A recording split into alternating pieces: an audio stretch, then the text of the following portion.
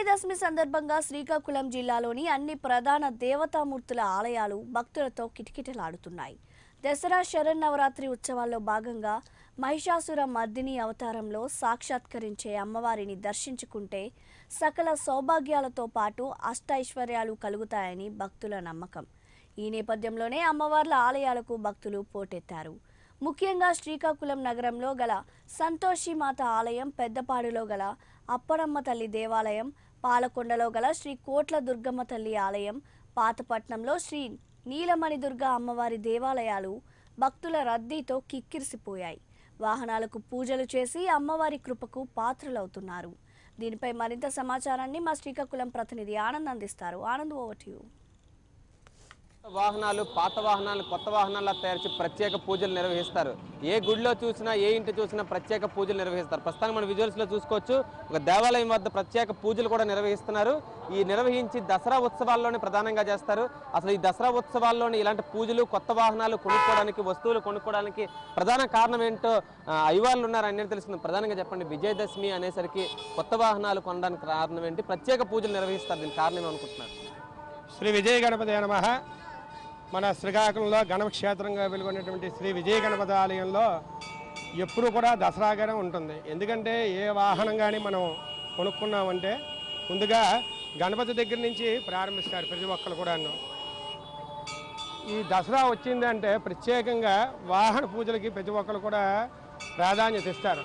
ఎందుకంటే అందులోకి ఈ దశమి శ్రవణ నక్షత్రంతో కూడుకున్నటువంటి దశమి మంగళవారం పడింది. మంగళవారం అంటే జైవారం.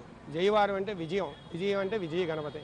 కాబట్టి ప్రత్యేకంగా ప్రతి ఒక్కరు ఈ యొక్క శ్రీకాకుళం జిల్లాలో కొనుక్కున్నటువంటి ప్రతి ఒక్క వాహనదారుడు కూడా ఖచ్చితంగా ఈ యొక్క విజయ గణపతి ఆలయంకి వచ్చి ఇక్కడ కొబ్బరికాయ కొట్టి వాహనాన్ని ప్రారంభిస్తారు. ఎందుకంటే ఈ సంవత్సరం శ్రవణ నక్షత్రంతో కూడుకున్నటువంటి విజయదశమి ఒకరోజు ముందుగానే వచ్చింది. అంటే నిన్న నవంతో కూడినటువంటి దశమి వచ్చింది సోమవారమే.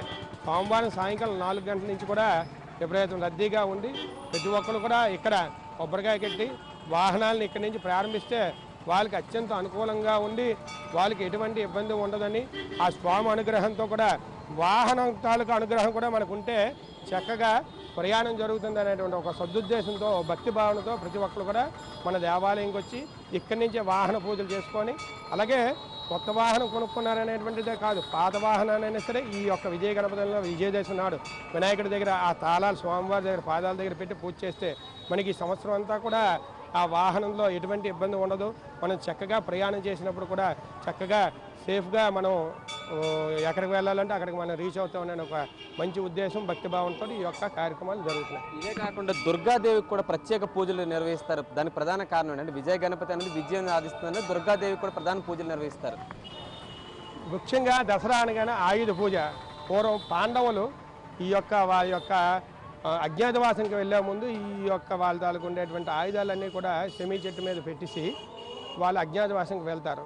ఆ ఒక్క వాళ్ళకి మాత్రమే ఆ యొక్క వాహనాలని వాళ్ళ యొక్క ఆభరణాలు ఏను కానీ ఆయుధాలని చూస్తే వాళ్ళకి మాత్రమే కనిపిస్తుంది. మిగతా ఎవరికైనా సరే చూస్తే అవి కొండ చెలువులుగా పాములుగా ఇలాగా కనిపిస్తాయి.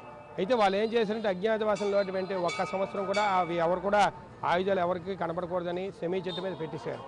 పెట్టడంతో ఏంటవుతుంది వాళ్ళు సంవత్సరం పూర్తి చేసుకుని వచ్చిన తర్వాత ఆ సెమీ చెట్టుకి పూజ చేసి ఆ రోజు దసరా అనమాట సెమీ చెట్టుకి పూజ చేసి ఆ వాహన యొక్క వాళ్ళ ఆయుధాలను తీసుకొని వాళ్ళు యథావిధిగా యుద్ధాలకి అట్లా వెళ్ళి విజయం సాధించారు. కాబట్టి ఆ రోజు విజయదేశం అవడం వల్ల ఎక్కువగా విజయదశమి అనగానే అమ్మవారికి పూజ చేసి సెమీ చెట్టు ఖచ్చితంగా నవరాత్రులు పూజ చేసిన వాళ్ళు వాళ్ళు ప్రతి ఒక్కరు కూడా సెమీ చెట్టు పూజ చేసిన ఈ యొక్క నవరాత్రి దీక్ష పూర్తవుతుందనే ఒకటి శాస్త్రం కూడా మనకుంది. కాబట్టి ప్రత్యేకంగా దసరా రోజు రాత్రి సెమీ చెట్టుకు పూజ చేయడం గల కారణం అమ్మవారికి పూజ చేయడం గల కారణం ఇది.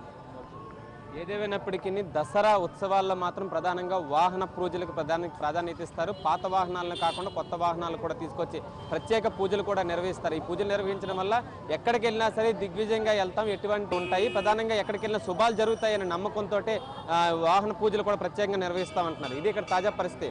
కెమెరామెన్ సంతూతో ఆనంద్ ప్రైమ్ న్యూస్ శ్రీకాకుళం.